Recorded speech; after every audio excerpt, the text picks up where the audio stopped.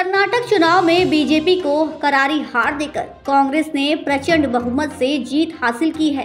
लेकिन मुख्यमंत्री की कुर्सी पर कौन बैठेगा, इसका फैसला अभी तक नहीं हो पाया है।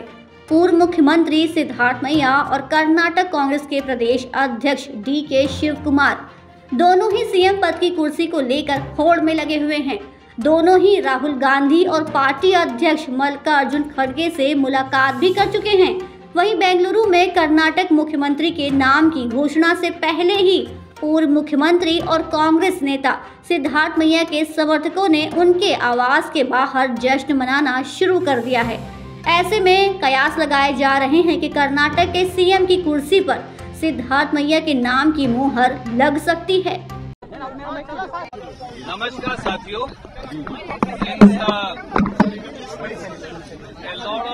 Speculation was going on and there was uh, all of you were calling me incessantly I just wanted to point out that uh, are being held by Honorable Congress President Mallikarjun I have met up with PCC President and CLP leader myself. PCC President and CLP leader went and met Shri Rahul Gandhi today. Uh, they have also met the AICC President. AICC President has been authorized to appoint the new leader of the Congress Legislature Party unanimously. And that's why the deliberations are currently underway. Please do not resort to any speculation. Whenever a decision is taken by the Honorable Congress President, we will be happy to inform you.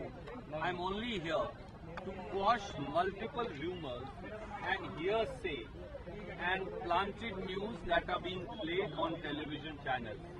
Please do not believe it. Please do not accept it. Whenever Congress party takes a decision, either today or tomorrow, we will be the first ones to inform you.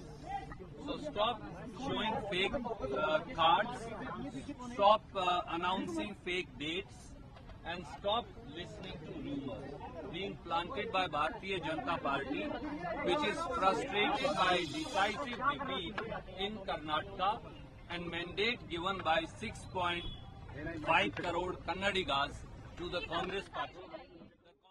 देश विदेश की खबरों को देखने के लिए हमारे channel Roshni news को सब्सक्राइब कीजिए और बेल आइकन दबाना ना भूलिएगा।